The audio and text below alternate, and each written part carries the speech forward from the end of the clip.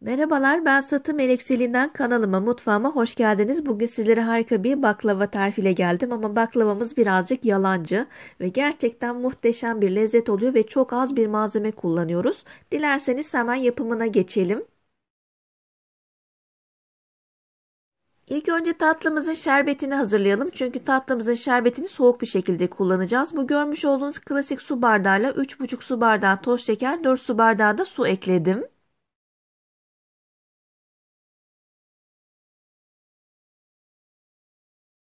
Ocağımızı aldıktan sonra şöyle bir karıştırın. Şeker kendini bıraktıktan sonra da kaynamaya bırakın. Kaynama hareketini gördükten sonra üzerine 3-4 damla limon suyu sıkın. Daha sonra da bir 5 dakika fazladan kaynatın. Daha sonra da ocağımızı kapatalım ve soğumaya bırakalım.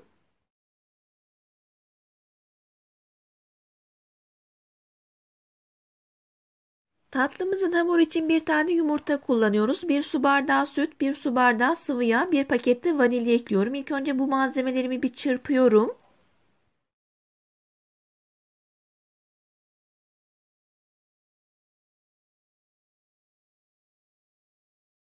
Malzemelerimizi çırptıktan sonra da bir yemek kaşığı sirke eklememiz gerekiyor. Ben bugün elma sirkesi kullandım ama üzüm sirkesiyle de oluyor. Yani evinizde ne varsa kullanabilirsiniz.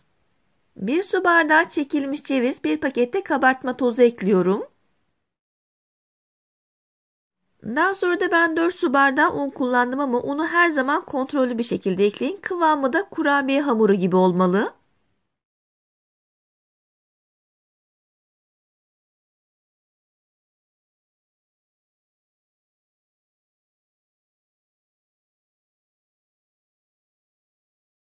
Hamurumu çok güzel bir şekilde yoğurdum. Hemen sizlere kıvamını da göstereyim. Söylemiş olduğum gibi aynı kurabiye hamuru gibi oluyor.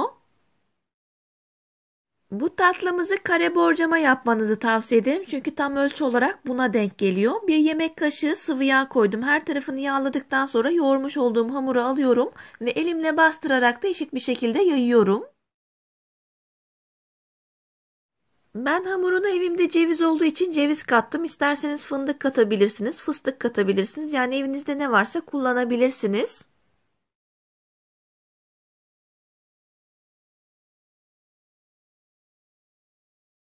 Hamurumu tepsime eşit bir şekilde yaydım. Daha sonra da bıçağımızla kare bir şekilde keselim.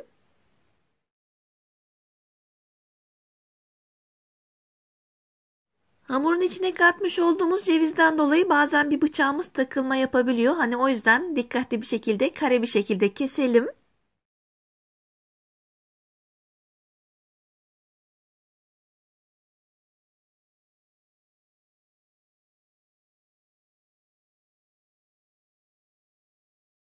Kesme işlemimiz bittikten sonra da önceden ısıtılmış 180 derece alt üst ayar fırınıma veriyorum ve kızarana kadar da pişiriyorum.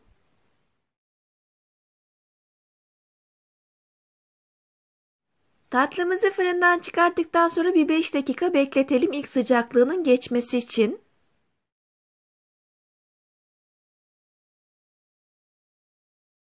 Şerbetini dökmeden önce de ben bıçağımla bu şekilde bir iz yaptım. Çünkü kesmiş olduğumuz yerler pişerken birazcık yapışma yapabiliyor.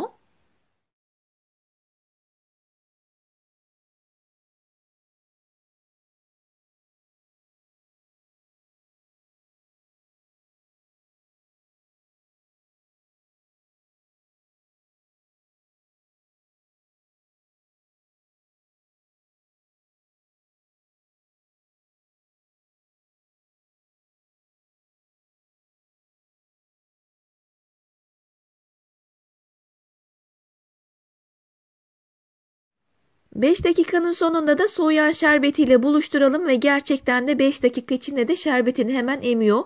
İlk döktüğünüzde fazla geliyor gibi görünebilir ama gerçekten çok güzel bir şekilde çekiyor. Soğuduktan sonra da istediğiniz gibi de servis yapabilirsiniz. Ben evimde yeşil fıstık vardı. Onunla birazcık süsleme yaptım. Bu tatlı öyle bir tatlı ki böyle doyana kadar yiyin hala yememiş gibi hissettiriyor size. Yani o yüzden de gerçekten lezzet garantili mutlaka da tavsiye ediyorum. Bir de bu tatlıyı 4-5 gün sonrası bile yeseniz bile ilk günkü tazeliğinde kalıyor. Gerçekten lezzet garantilidir mutlaka ama mutlaka da tavsiye ediyorum. Ben bu tarifi gerçekten çok seviyorum. O yüzden sizlerle de buluşturmak istedim. İnşallah dener ve memnun kalırsınız. Bugün de bir tarifimin sonuna geldim. Beni izlediğiniz için teşekkür ediyorum.